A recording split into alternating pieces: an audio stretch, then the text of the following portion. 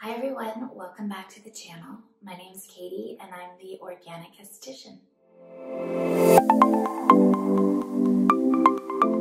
Hi everyone, good morning. Well, it's morning here. It's a little early and I'm feeling a little puffy. Um, welcome back. I did it two weeks in a row, like I said I would. So this is the beginning of me being back every Monday. This week's video is gonna be a little different.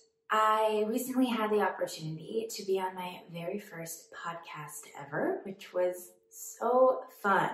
Um, it was really an enjoyable experience. Leslie from Love Saranghae interviewed me over Zoom a couple weeks ago, and we were able to record our interview.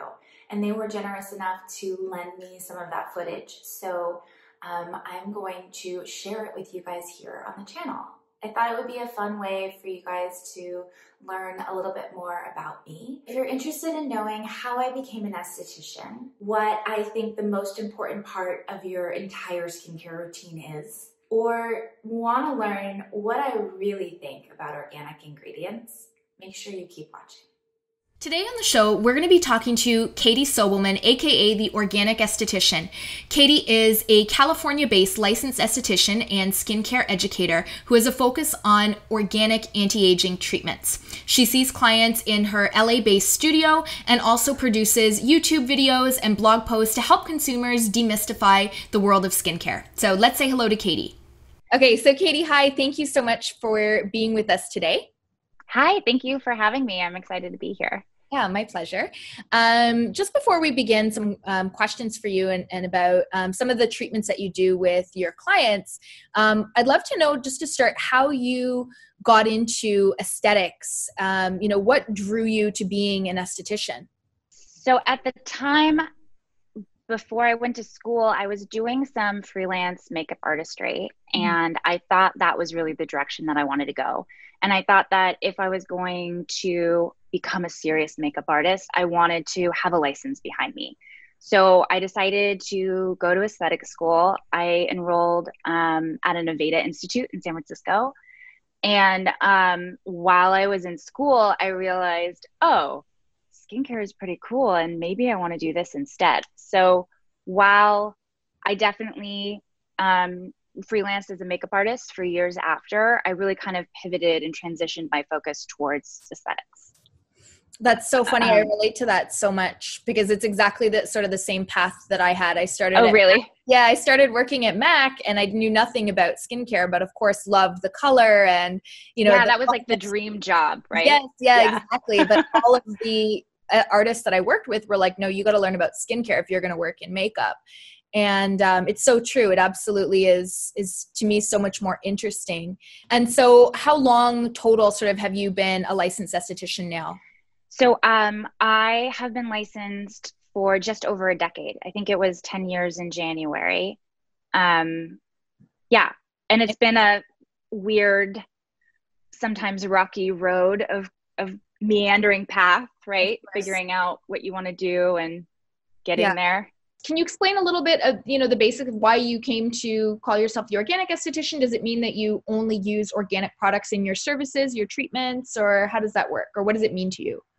Yeah, so um, I, what I found the longer I was in the industry is that there are some really harmful and pretty nasty ingredients that are in skincare. Mm-hmm. Um, and so when I was first learning about, you know, cosmetic formulations and how skincare really affects the skin on a deeper level, organic organic ingredients were really important to me. Okay. Um, and they definitely still are. And that's kind of, you know, how I built my personal brand was all about using cleaner products. And I think organic is just an easier way to express that yeah. but it's a much bigger and slightly more complicated um, you know arena when sure. you get into it so yeah. um, i use a lot of organic products but the problem with something that is you know an organic skincare product is that well it only has to be what like 98% organic or depending on where you are there's yeah. still this little opportunity to sneak something dirty in there. So even though the majority of the ingredients are organically grown and really beautifully cultivated, it still might have you know four glycols or uh, something else parabens or phthalates. yeah. yeah yeah. So what i've kind of come to realize is maybe more important even than something being organic is that something these skincare products have to be clean mm-hmm. and so um you know that's looking at like the european union standards right. instead of um united states or even canada canada is a lot better than the us and the us went from what 12 products to 30 products that are or ingredients that are now banned yeah. So it's a little bit, but the EU has 1400. So um, I keep it clean and I use organic ingredients when I have the opportunity to do so.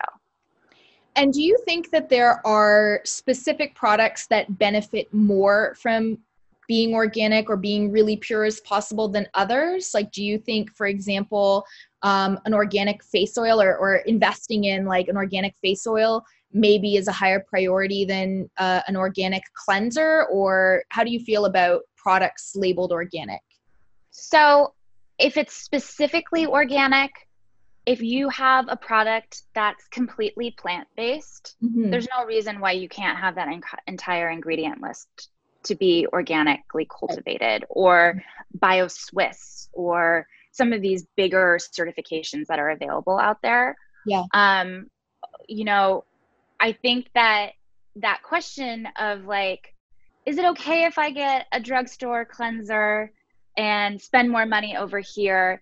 You know, that's like a whole whole bigger conversation we can have because I am very passionate about cleansing.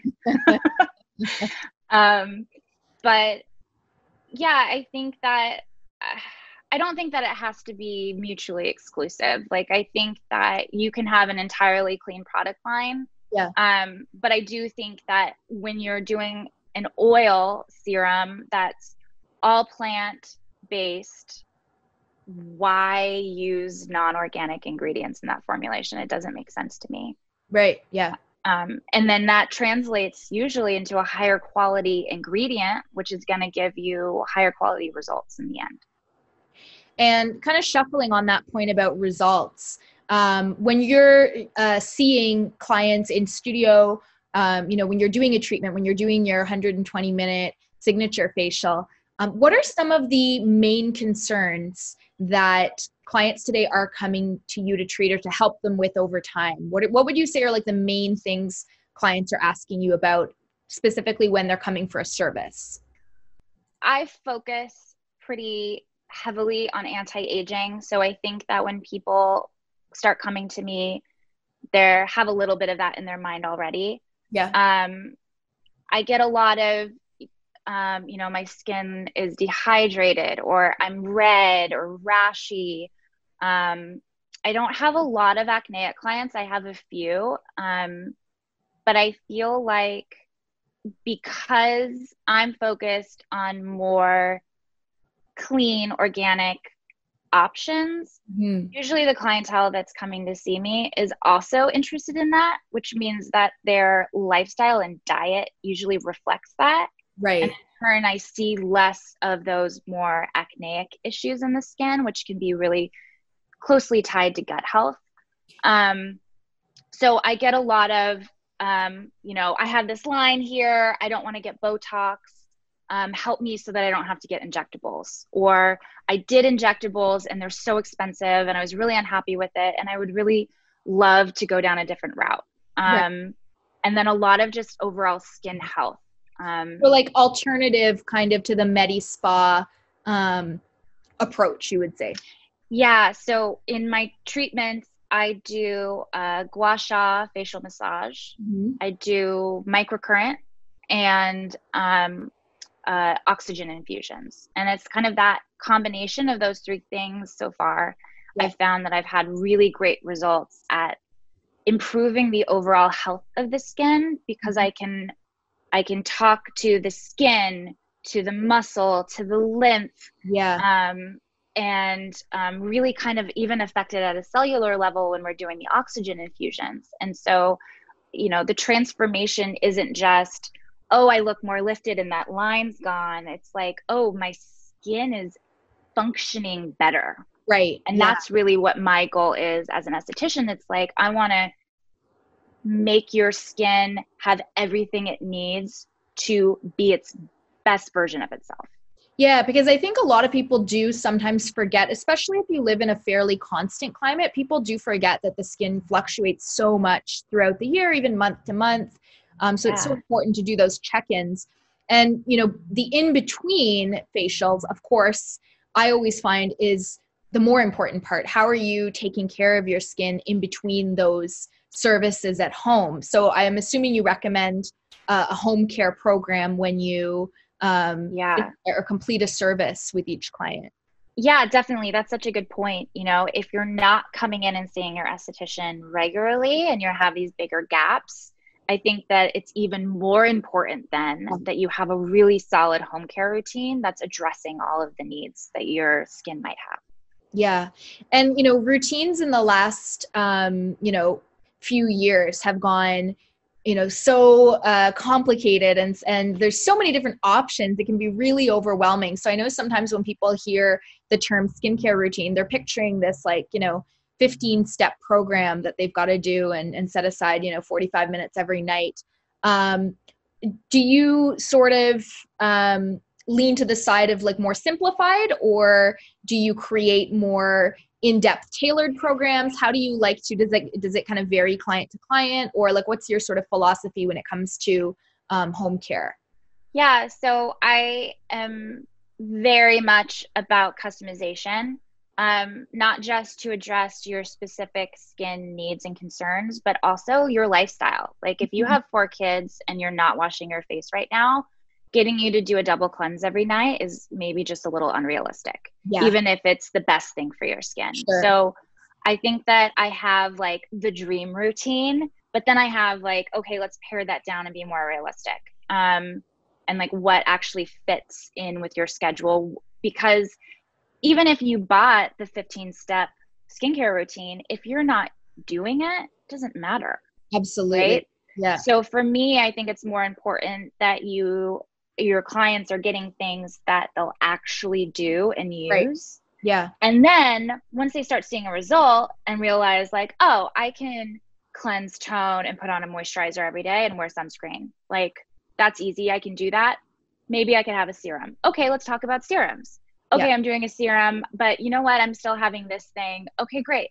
because you're not exfoliating.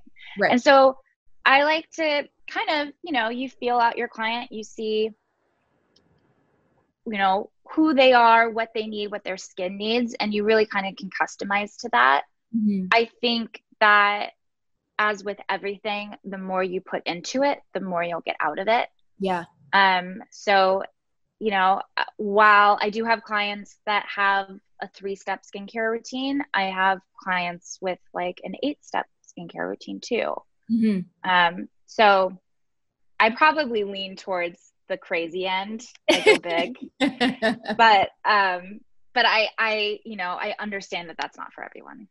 Yeah, it's so important. You know, if it's just sitting on the bathroom vanity, what good is it? And yeah, yeah, I always think like the best skincare routine for you is the one you're actually going to do. Just like sunscreen, exactly. people say, "What's the best sunscreen?" The one you're going to wear because yeah. if you don't wear as long it, as it's chemical free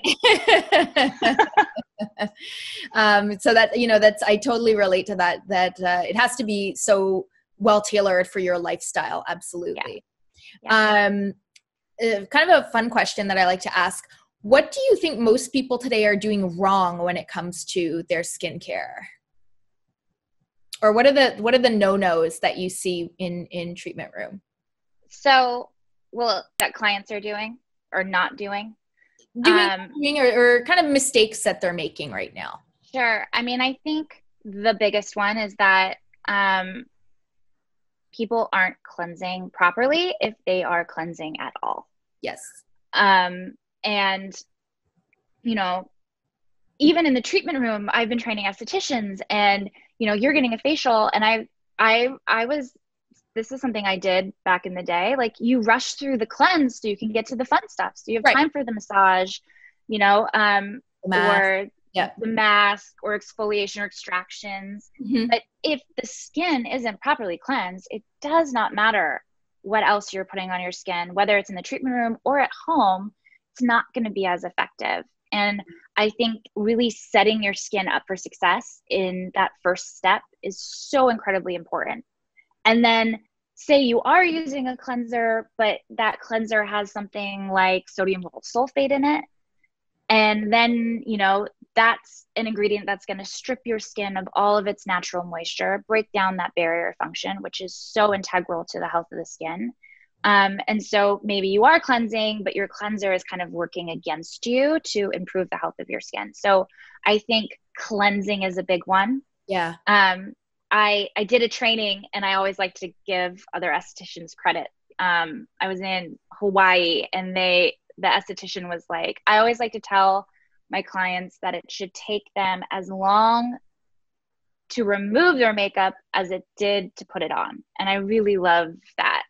That's great. It kind of puts it in perspective for you.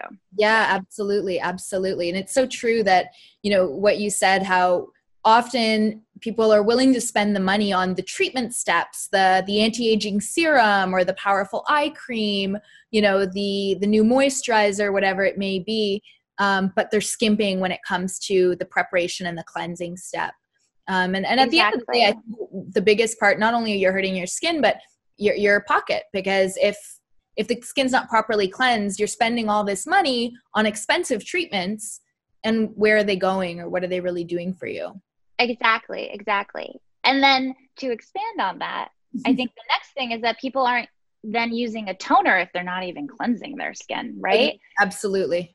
And it's the sneakiest little easiest thing that people skip mm-hmm. that i think gives the biggest transformation and not just in the results but also just the longevity of your skincare because you're balancing ph you're adding hydration but you're also allowing anything you put on after your toner to penetrate more readily. Yeah. and you get a little slip so you also can use less product so those expensive serums and moisturizers are now lasting longer just because you took a little toner and pressed it into your skin um, feel like we're um, skincare soulmates because I say exactly the same thing. And I find today, especially, um, you know, with the rise of social media and YouTube, there seem to be like two real camps of people. Like, you don't need toner, it's a waste of money, or the die hard, I live by toner, I'll never not use a toner product. And then there's still a lot of people that are kind of in the, oh, I've had toners in the past, they stung, they burned, they were full of alcohol, I don't like toner. Um, but for all those very reasons, it's such an important step and it's less expensive than the other products and stretches everything else out. Like you go through way less totally. serum when you use a toner. So totally. You said that because I couldn't agree more. A little cheerleading. Um, I love that. I love hearing that too. Um, and, you know, everyone is dehydrated, whether you're oily and acneic or have more mature, dry skin yeah. everyone has dehydration. And yeah. so, you know, for someone who's had negative experiences with like an, an acid tone, something yeah, more astringent. Yeah. yeah. Yeah. And I would just say, like, don't even bother with that. Like, look for something hydrating. It's yeah. not going to break you out. Nothing bad's going to happen. It's just going to balance your pH. Absolutely. And the camp of of estheticians saying, "Oh, you don't need a toner because your cleanser's pH balanced." Well, the water you use, like I live in LA, there's arsenic in our water. Like you're rinsing your face with this pretty icky stuff, and then whatever that cleanser did to pH balance has now just been totally disrupted. So right. You always have to use a toner to rebalance the pH. So yeah, very passionate about this. I, I fully support you in that on that mission for sure. Um, anything else that you see um, as still like a, a no-no or, or a, a misconception that you find amongst your clients or wrong steps? Yeah. Um, you know, I think the other big thing is the fear that a lot of people have around facial oils. Sure. Um, especially if they're oily or acneic. Mm-hmm. Um, and I think that's something that I've been really trying to like spread the good word of facial oil because it's so beneficial and you know not every oil is created equal and yeah. for me I think even just as an esthetician, it was like once I understood what the components of these oils were, the essential fatty acids, yeah. and realized that like, oh, okay, if this has omega 3, it's great for anti antioxidants and UV protection. Or like, oh, this has omega 6, it's going to help prevent acne. Like yeah. that really clicked for me and it was like, okay, th- this makes sense to me. I think this could make sense to everyone. Yeah. And so um, I think that especially more problematic skin. Ooh, I hate using that word. Let's not use that word. Uh, opportunity skin, right? It's yeah. an op- opportunity to change. So, yeah. um, but the more oily acneic skin types get really fearful about mm. applying anything with oil to their skin when truly it's what their skin is asking for by overproducing oil to compensate dryness or this lack of linoleic acid in the skin. So you're getting this influx of breakouts. Um, so i think that's that's another really big one. I mean aside from you know people not wearing sunscreen or I was waiting to see if that was going to be your last one, but it's such a given now that I feel like yeah, it's like let's not even. That's not fun. Yeah, let's not go there. No, you know the the thing about being scared of facial oils, even though they have gained so much popularity, um, over the last you know five to ten years i would say the yeah, the definitely. campaign of of oil free went on for so many years in north america it, not really in europe you know that was something they never really bought into. Yeah uh, definitely. and same in the the asian market um but you know i think consumers just had it drilled into them for so long that like your skincare has to be oil free look for an oil free moisturizer you know I, I can remember growing up reading magazines and reading that advice over and over. So now it's like changing the mind of this like whole generation of people that were trained not to use anything with oils or that oil was the problem right yeah definitely you know it's really interesting that you said about the different markets and mm-hmm. how europe and asia didn't have that problem and, you know, I kind of wonder if a lot of that actually kind of bring it back internally has to do with diet. Like Probably. Yeah. Because at least the the standard American diet is so hard on the gut. Mm-hmm. It causes so many more skin disorders. And I think that this kind of influx of of breakouts and acne and these different skin issues, eczema, all of that kind of originates in the gut. And I wonder if that has to, you know what I mean? How that kind of plays into I think, this idea yeah, no, oil absolutely. I think I think um, in other markets, um, skincare is a lot more mature. You know, in Asia and in in Europe, yeah. right? And i think it plays definitely as part of a lifestyle factor you know more of more of something that you need to do to maintain yourself rather than something you do when you think you're getting old and you need to fix it exactly um, exactly so, you know i think such a good way of putting it it's it's just I think they have a more like holistic idea where North Americans tend to be more reactive, right? Where they the wait quick fix. Yeah, the quick fix, or they wait until they see the problem. And you know, when when we're younger, we're you know really into makeup and and covering things up, and then as we start to age, we think, oh, I guess it's time to to break out the the skincare products now. But I'm sure diet and lifestyle plays a total role in in how those other markets have viewed skincare and oils and and where it sort of fits into their life as a whole rather than um, you know just just the campaign on oil free. It's definitely deeper than that for sure. Yeah yeah it's so it's really fascinating to think about. Yeah no absolutely. Beauty is one of those things that i i could talk forever about. I'm sure you could also talk yeah. forever about.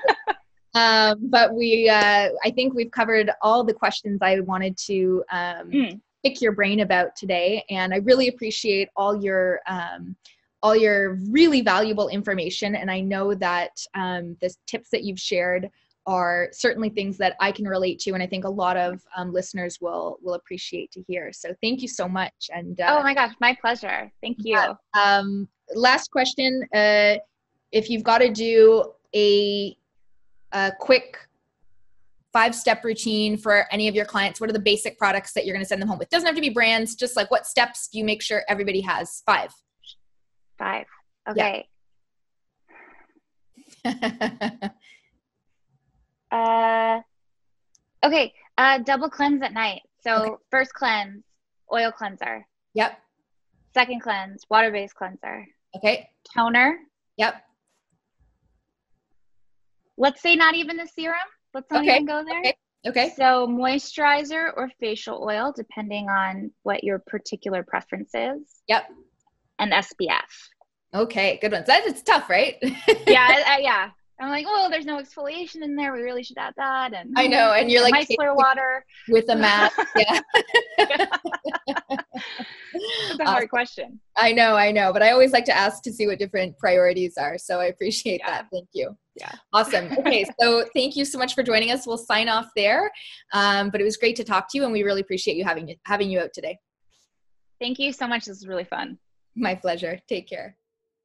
Thank you, Leslie, and the whole Love Saranghae team for having me on the podcast. It truly was so much fun.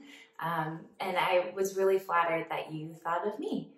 So thanks again. I'll put the podcast link and their YouTube link down below in case anyone wants to see more of what Leslie's doing over there. All right, everyone, thank you so much for watching. If you like this video, make sure you give it a thumbs up. And if you're interested in seeing more videos on organic skincare or how-tos using anti-aging facial devices, which are my favorite, make sure you subscribe. I have a new video every Monday. Right, I will see you all next week. Stay safe, and I'll see you then. Bye.